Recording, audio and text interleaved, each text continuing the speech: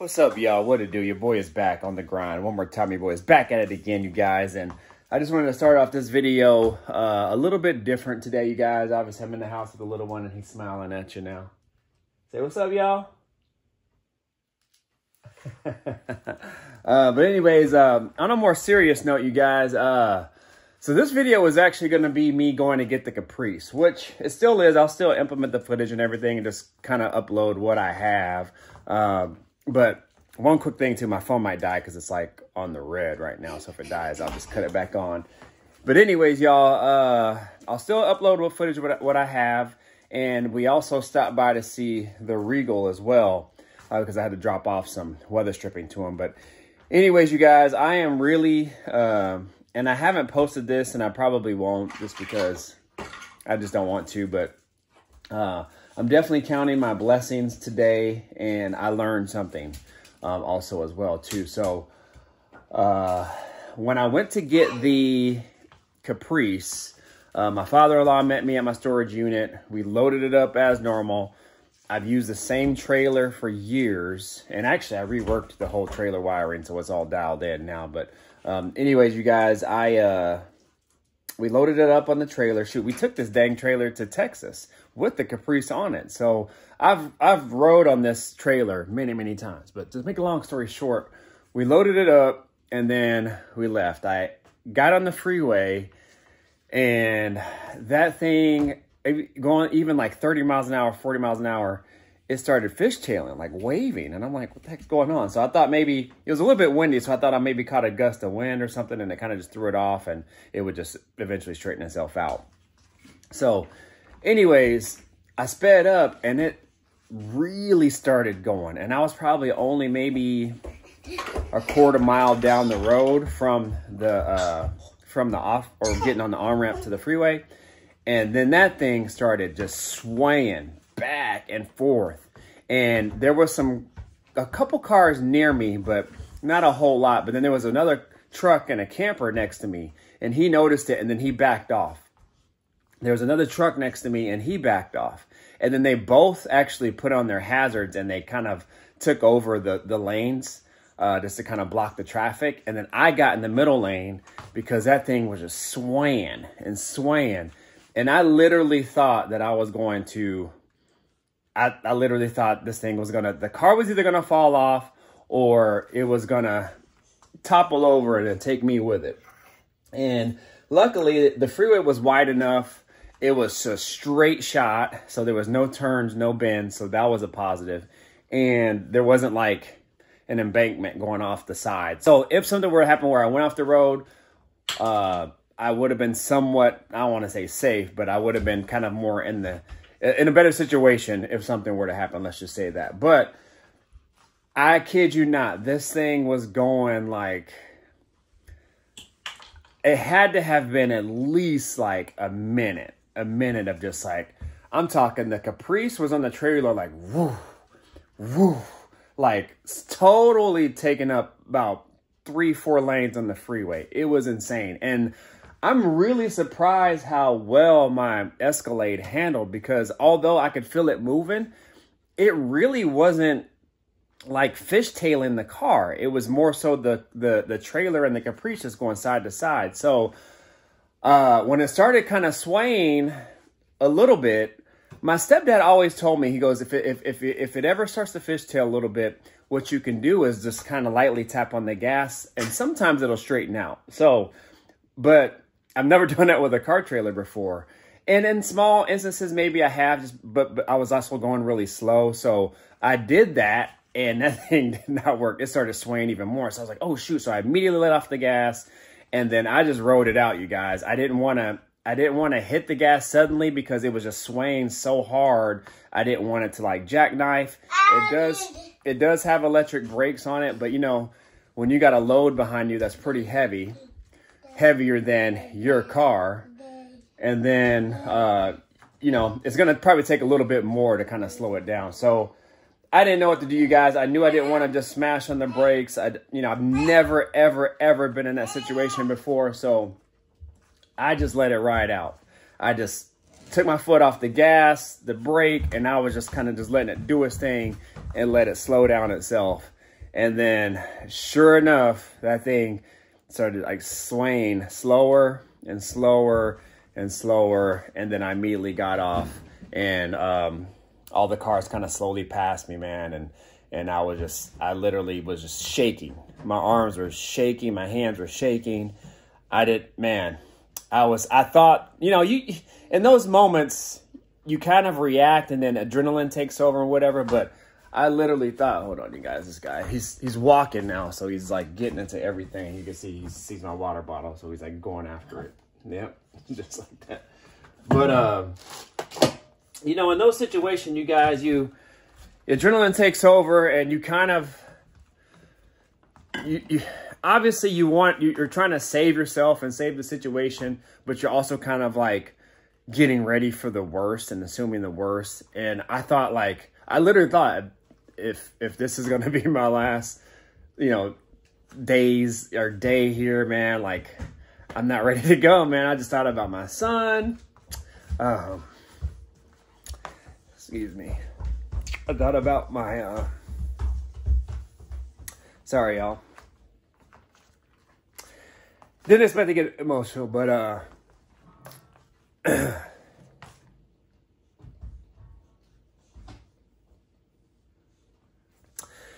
Whew. All right. I thought about my son. I thought about my wife.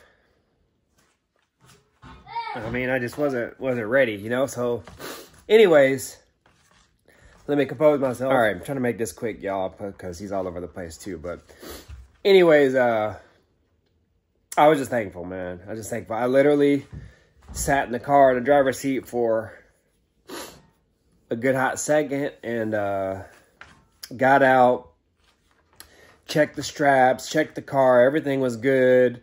Uh, but before I did that, I no, actually no, I did that first. I checked the car. The car didn't actually move, you guys. I mean, the car pretty much stayed exactly where it's at. So shout out to the Amazon good straps. They're like, you know, over 10,000, 11,000 pound rated straps. So anyways, those held up, but they were a little loose, but the car did not move. So that was a plus. The trailer handled flawlessly and when I tightened them back up, and after I checked the straps, I went over to the hood. I literally put my hands and my head down, and I just, I just thanked the man upstairs, man, because that was, that was really a, a scary situation for me, you guys. I mean, you know, you got cars around you, you got, you know, people around you too, so you don't want to wreck, you don't want to get anybody else involved.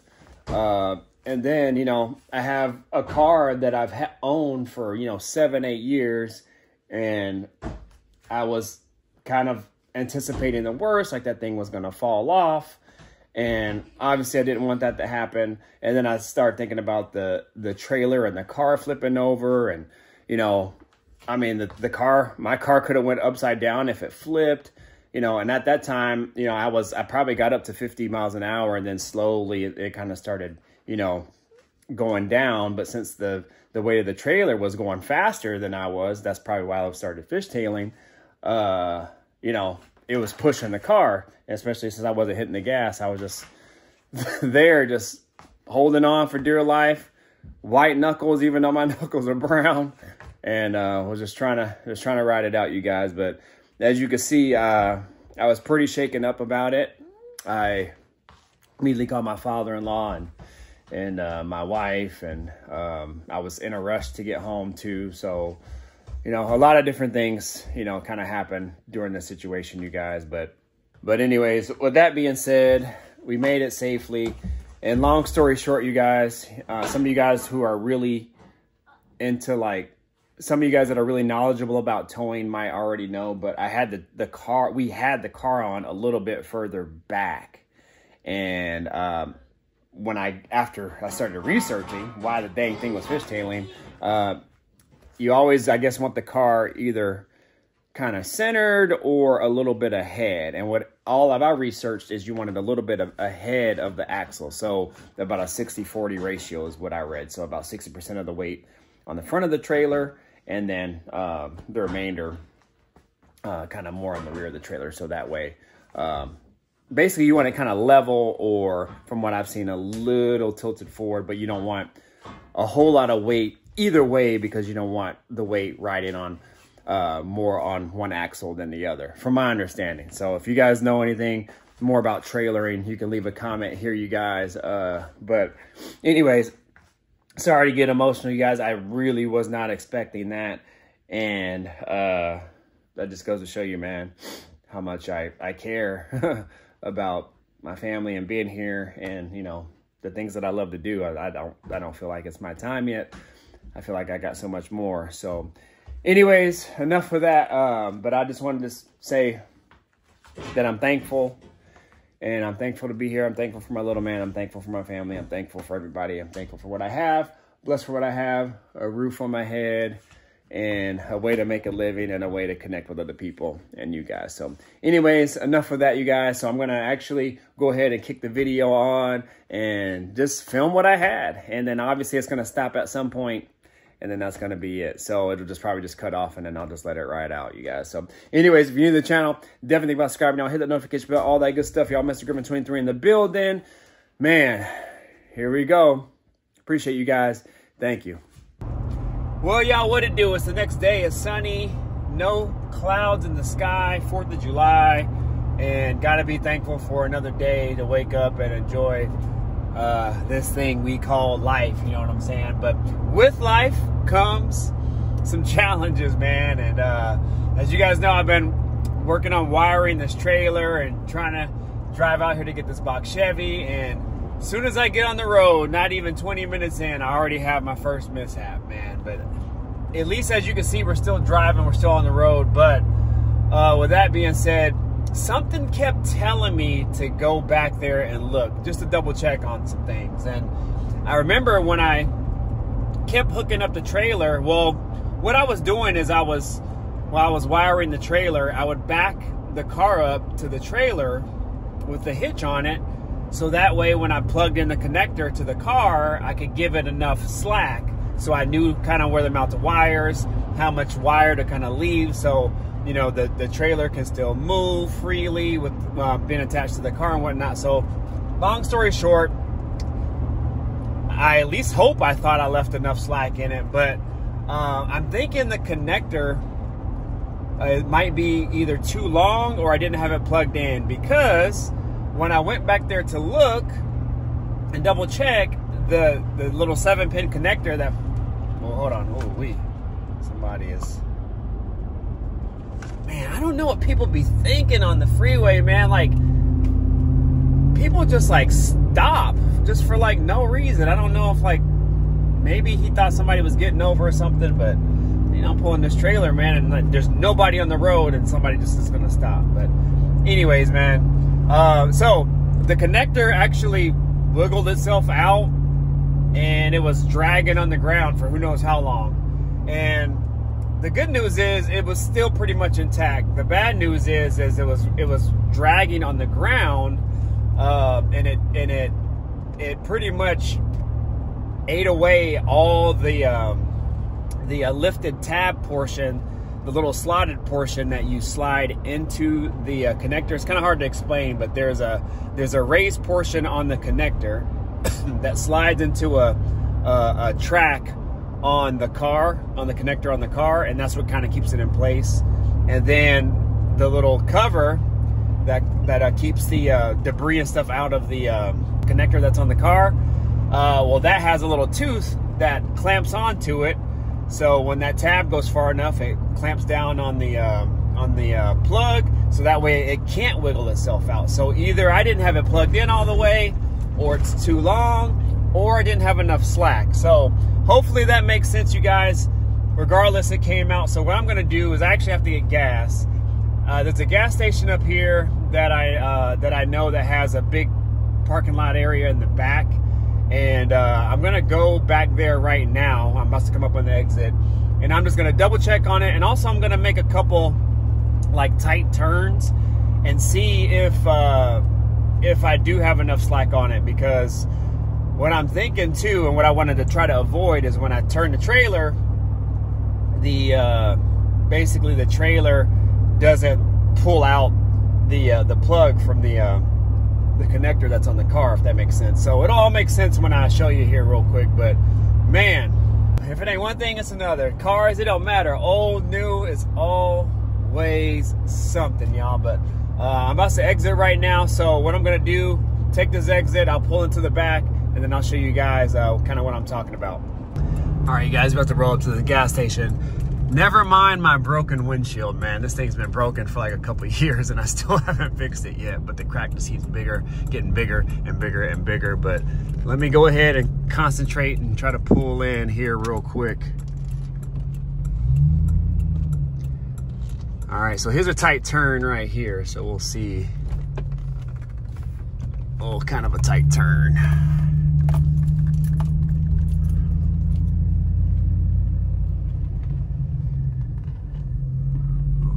rolling an old caddy. Oh, of course somebody gonna wanna pull in, but what I'm gonna do is I'll make this tight turn here.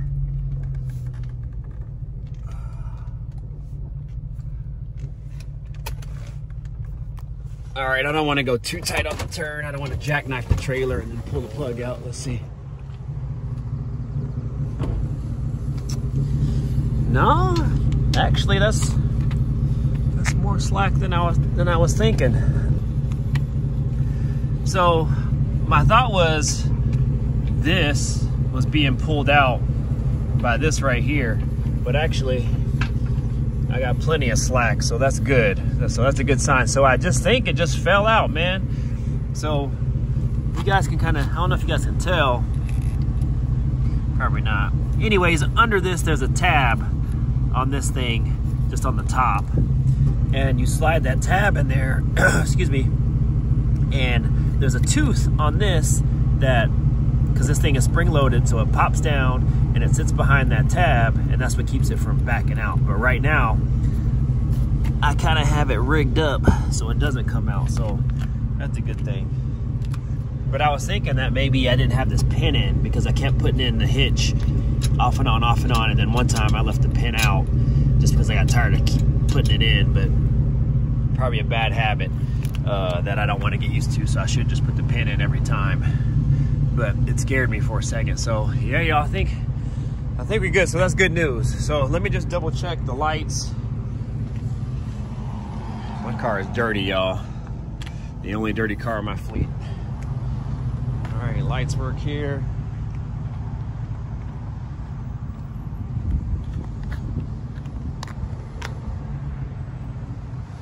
Good. Lights are working.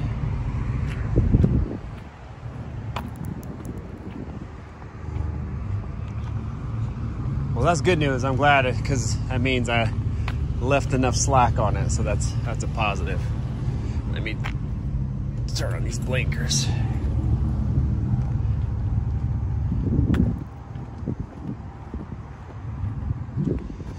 Yeah, so everything's still working. You can see it blinking.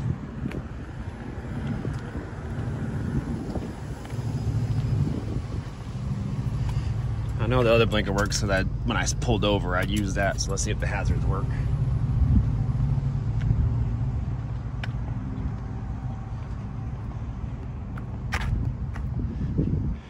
All right, y'all, so hazards working. Okay, so we good. So I just think either you know, it's from Amazon, y'all, so, but it got good reviews, so that's good, but either I just didn't have it plugged in all the way. The plug was kind of funky. Actually, when I plugged it in the first time, it wouldn't go all the way in. The little tabs inside of that connector were too tight. So I uh, opened them up, pushed it back in, and either it just wasn't catching or something and I didn't know it, uh, or something happened. So that kind of sucks. But anyways, it could have been far worse. I could have went all the way down there and had no lights, no brakes on the trailer or anything. So anyways, I think we're good to go. This actually makes me happy. So I don't have to rewire any of that or pull it up or anything because I zip tied like everything down and it's like super tight. So I'm gonna have to figure out something. Maybe I can rig up something on that plastic since this is encased in that plastic, maybe I can rig up something where I can kind of build a tab from like epoxy or something like that just to kind of save it because this thing's brand new, man. I don't want to redo it again, but if I have to, I will. All right, y'all. So what I'm gonna do right now then is I'm gonna go ahead and fill this thing up because I'm getting low on gas. I'm at a quarter tank. And uh, then I'm gonna go ahead and I actually gotta stop by my buddy Chris's house. He uh, he has my Regal, as you guys know, and I'm gonna drop off some parts to him that he needs. And then we're gonna check out the progress on it, see what he's got done. And then we're just gonna go from there. So anyways, you guys stay tuned. Go get this gas real quick and then I'll holler back. Uh, maybe I'll get some footage of the Regal, we'll see. So anyways, you guys stay tuned. More to come, y'all. Yep.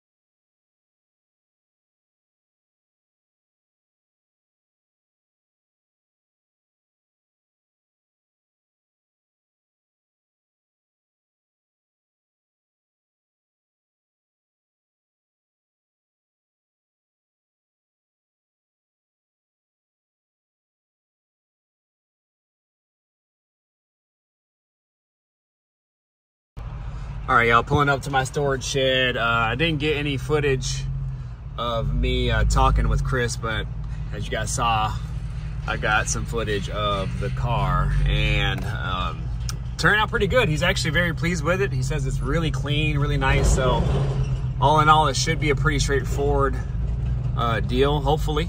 So uh, he says he wish he was a little bit more further along, but uh, you know, family and that kind of thing, you know, other obligations uh, cause him to be a little bit further back than what he wanted to, but that is all right, man. I know he'll he'll knock it out, and um, I wasn't planning for him to be done in any specific amount of time anyway. So, but right now, pulling up to the storage unit. So, father-in-law is going to meet me here. My wife actually forgot my uh, my stand because I wanted to film loading it up on the trailer and whatever, so I don't have my recording stand. So don't know how much I'll be able to get.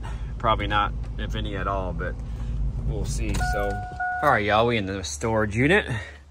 Gonna see if this dang thing gonna start.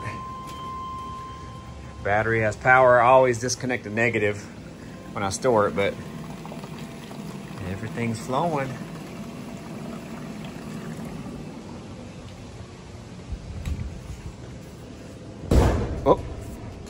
Let me prime it a couple times.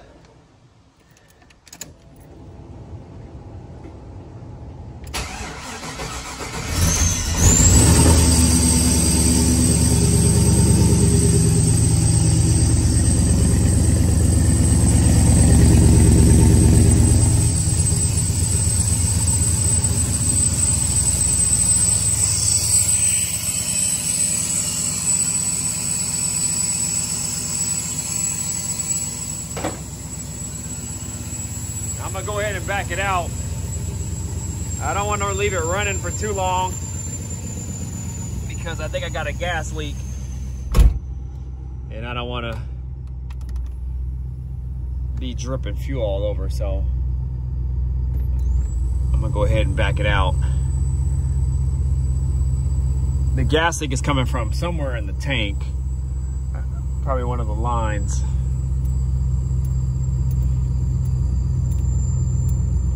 Father-in-law should be rolling up any minute too.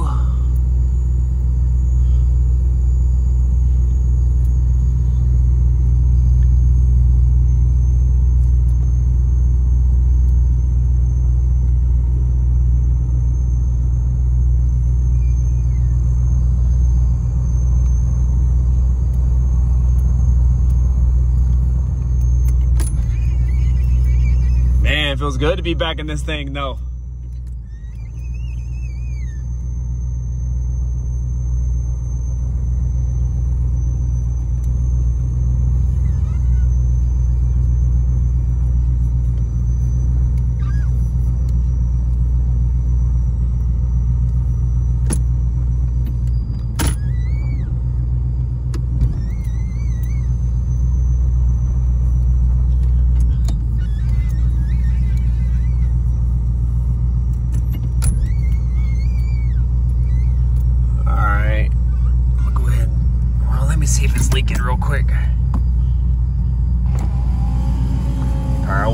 Which I know about that. What?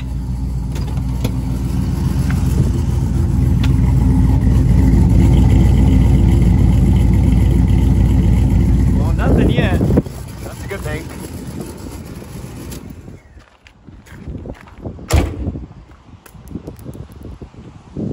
Nothing over here. This thing has been stored for months, you guys. no drips, no leaks, no nada.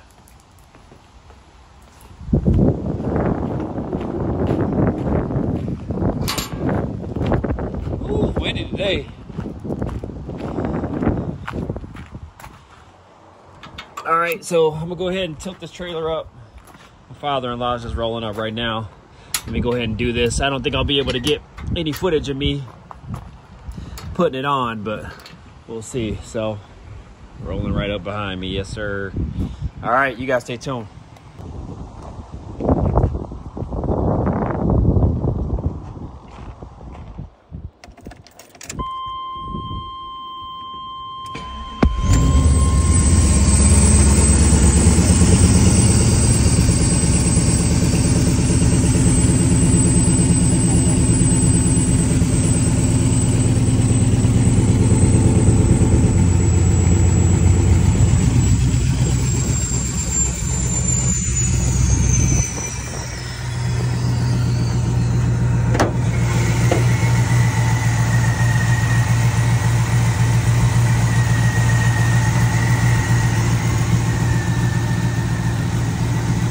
Nice. It'd be easy. It'd be Yeah. easy. But see, the thing is, you don't really. Because like my Chevelle is like really low. You would gain two inches because those tires are so freaking big. Because this is 10,000 pounds, it's not 8,000 pounds. The 8,000 pound ones only have 14. The Oh. the trailers, Yeah. they only have 14 inch tires on. So this is what rated at what? 10,000. Oh, 10,000. This is yeah. And this this is that's why it, 'cause it's a little- Yeah. little heavier. But uh, it's got the bigger tires. I must have. I think I wired everything good too. because it? It brakes seem to work. Good. Yeah. I mean, when I hit the brake, I don't. I don't feel like any push. Push. Oh, Yeah. And I can actually kind of hear them They engage a little bit. Yeah. Yeah. Yeah. So I mean, it works fine. The only thing that.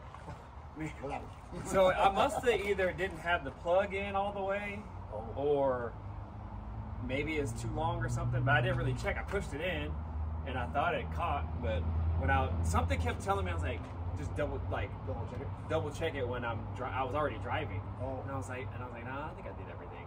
And then it's ca- something kept bothering me, like saying, check it, check it. So I pulled over aside the freeway, checked it, and it was just bouncing. It was like dragging Oh, oh, it's, the it came- plug. it- yeah. It came out? Yeah. Oh, shit. I'm gonna So- see how much.